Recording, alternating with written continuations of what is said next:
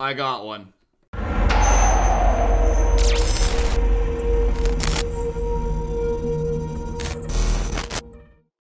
Hey guys, welcome to Frame Chasers. Uh, I got my hands on one. I had to do some back channel shit to get one.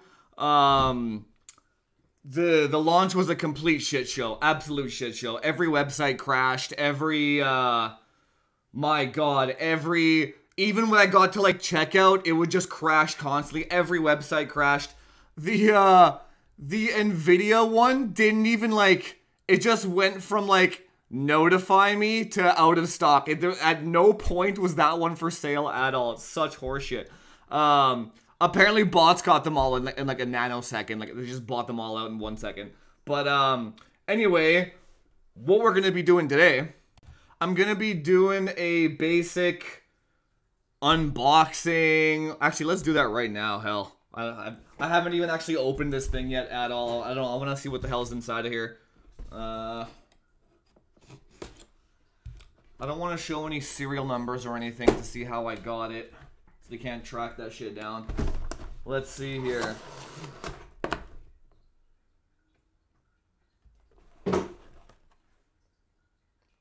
Not gonna lie, the uh the the OEM boxing is kind of lackluster. Come on, EVGA, this is like I guess they just had to rush it out the door, maybe. Here, you know what? Let me angle the camera down if I can, like this. Alright. Yeah, just so you can kind of see what I'm doing here. Um, let's take this out. Oh, it is brand new. It's not like a review sample or anything, so that's nice. Nice. Alright. Oh, my kitty's coming down. Hi, kitty. You know what the frustrating thing is? if you go to like the bigger tech tubers, they got their their their beautiful night sleep. I'm like staying up. I didn't get any sleep last night. I was mashing the F5 button since 9 p.m. last night. And it's 2 p.m. right now, and I haven't slept yet. And you got these guys as with their videos with like they got the founders edition. They have the uh they have like every single AIB model in their background. Like, like there's like a thousand total units in the entire country, and like JayzTwoCents has like 30 of them in his garage. Like, it's insane. It's insane. I understand why AIBs do it, because like the more products you get to the press, the more that they promote your product and the more that you can sell in the future when you actually do get stock. But man, there are a lot of unfortunate people out there that did not get cards. And it was like. Uh, yeah. Literally, no one in my Discord got one except for me. Nobody. Um. I actually got more than one, and I might even just like give it to my fans because this is ridiculous. Like, there's no, there's no cards. The fact that these bigger tech tubers have like 10 cards each if you think about it, that's like 10 cards each plus 10 tech tubers. Yeah, I am a little bit salty about that. Like like I don't I don't expect a review sample. I'm not even close to big enough for that. I expect nothing. I will always get it myself. But when there's that much of a shortage, Asus, EVGA, Gigabyte, MSI, you guys should not be sending five different models to each of these tech tubers. Like, you know, you don't have any stock. Like, you should take care of your fan base, not. I don't know. Maybe I'm wrong. Maybe, maybe maybe if you get five cards to a reviewer, that that translates to uh 10,000 conversions later of sales. Like maybe that's the whole point, right? Maybe the shortage thing was the big game plan, but man, like just seeing tech tubers with that many cards personally is unacceptable. That should not be okay. Mark this going forward if slash when I ever get big enough to get that many review samples, I'm going to keep one and give the rest of them away to my fan base because uh, that's unacceptable. Like, these people should be giving away their extra stock. They don't need 10 30 80s. They don't need them. It doesn't, you don't need them. Like, ugh, I don't know. Okay. Anyway, I'm going to go do some thermal testing here and some benchmarks. uh, first thing that we're gonna see is was I right about the 2080 Ti being power modded and it being the same? Let's. I just want to confirm that for myself first. The haters are probably gonna hate me even more now because I actually did get one, and I've been saying the whole time that you don't need one because the 2080 Ti is the same. I'm not a hypocrite. I'm going to get one to test my theory. That was the whole point. Um, yeah, that's what we're gonna be doing today. Got the card here, EVGA XC3 model. First thing I'm gonna do is I'm gonna go be doing some um, thermal testing, benchmarks. I'm gonna do the whole benchmark suite um, before I take it apart to see what it how it works right out of the box. And I'm gonna do that right now, and I will be back with some results. All right, I'm gonna have to cut the benchmark short here, but um, let me show you some preliminary numbers here, and there, there's there's definitely a few things that are broken. Let me explain. Uh, let me bring this up here. All right. So, you can see on the left here, these are the numbers that I just did with Firestrike and Time Spy. Um, this card that I have is definitely faster than the Founders Edition one in um in that leak that uh, that I did a comparison on before. But the percentages are almost the same. Like like the, like obviously okay, so uh, let me let me go through this. This number here was out of the box and this number here was 100% fan speed. So 73C it runs at out of the box, 62C. I mean, obviously nobody's going to run 100% fan speed, but I just wanted to see what happens with the boost algorithm when it gets colder, right? Assuming that we're going to be running water blocks on these things.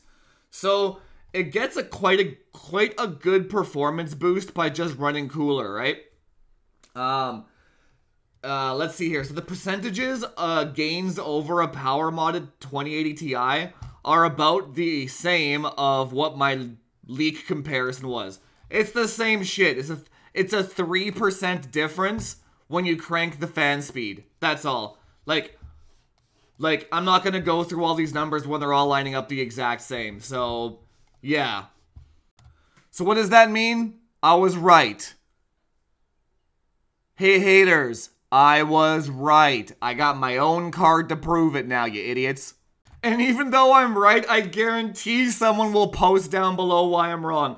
I literally have a 3080 and my power modded 20, 2080 Ti, and they'll be like, you tested it wrong because you didn't do this. Like, shut up, you idiot.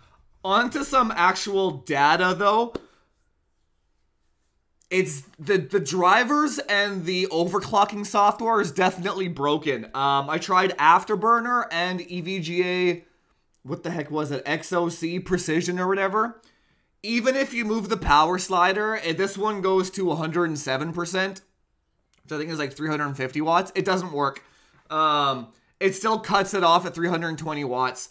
So like, I'm sure that'll be fixed in the future, but I'm pretty sure that's why none of the big tech reviewers, I'm pretty sure why their overclocking numbers were garbage. It doesn't work right now.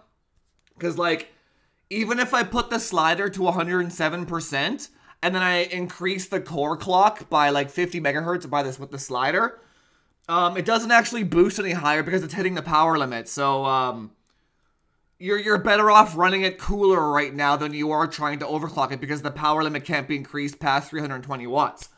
Um, it also it boosts to about 1950 megahertz out of the box at about 1 volt around there 1920 to 1980 and it goes like 1 volt and like 1980 millivolts. For anyone that's interested in like the, um, the actual power draw of these things they're they're so they're drawing a shitload of power at a much le- uh, lower voltage than Turing is which is in- which is interesting like if you put Turing at 1 volt, it draws way less power than 320 watts. So like the the extra transistor density is definitely pulling a lot more power at a lower voltage.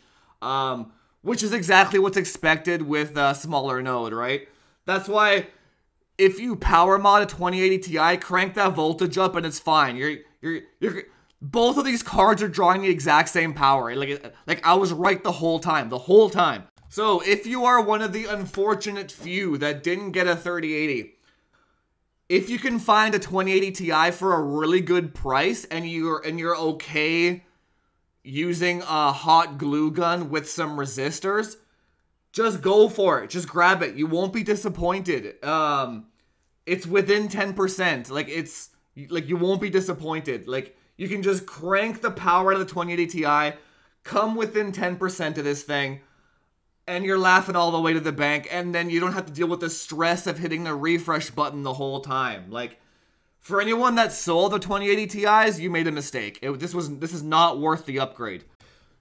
The benefit of the 3080 though, like I said in my other videos, it runs that fast out of the box, which I would assume for the mass mass mass ma- majority of users is uh almost invaluable in itself because there's a lot of people that don't want to take apart their card and void the warranty, which that's illegal. It doesn't void the warranty. Void the warranty and glue resistors on and like I understand that people are really anxious about technology and like the fragileness of it that's where the 3080 does come into play here. You throw it in, you and you just run it. You don't have to run afterburner. You don't have to voltage lock your card. You don't have to flash any BIOSes. You literally throw it in and it works. That's for people that aren't tinkerers and they're just gamers and they don't care. That is a big value of this card. Big. Like it, it's running 10% faster than my 2080 Ti.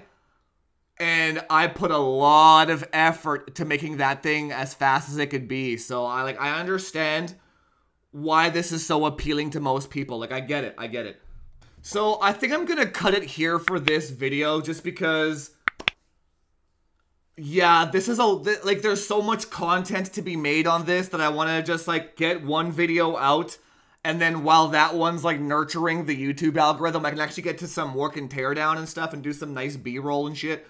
Um, I'm definitely shunt modding this thing. It, it, it's it's power choked for sure. I want to I want to see how it scales. Um, so to wrap this up, Cole's notes. Uh, overclocking is broken right now with power sliding. Um, for this model anyway. I don't know about the other ones. Um, Core increasing doesn't work at all because it's power limited. It does boost higher with uh, cooler temperatures, runs at about 1 volt, and it boosts to about 1950 megahertz out of the box. Um, so, like I was saying in the 2080 Ti videos, if it's around the 2 gigahertz mark out of the box, even when I shunt mod it, it's not going to have a lot of headroom just because it's it's the it's it's Nvidia already that's why it runs so fast out of the box. Nvidia already put it at the peak of its efficiency curve. So if you power mod it and increase the voltage, it's going to start doing this instantly. There's no headroom. There's no headroom at all. I can already tell what it's doing, that there's not going to be any headroom. But that will be the next video. Um, I'm going to do a teardown shunt mod and we're gonna see what this thing can really do um, with some mods. And I might do some. Um, uh, actually, I'll do also do some um, thermal paste testing. I might do some liquid metal on this thing too, just to to really crank her uh, before anybody else does. But that's it for this video, guys. Um, if if if you're stressed out get a 2080 Ti and just be happy and wait for more stock. Wait for a 3080 Ti. Uh, do the resistor trick. Check that video. And I hope you guys learned something. If you like the content, hit that subscribe button so that I can get some damn review samples so I can get this information to you faster because uh, I might not be able to score cards like this on every launch. Like, I like I can't pull that many favors that that many times, right? So, um, anyway, guys, hopefully you liked the video. Like, share, subscribe, and I'll see you in the next one. Thanks for joining me. Probably tomorrow I'll post another one. Um, talk to you later.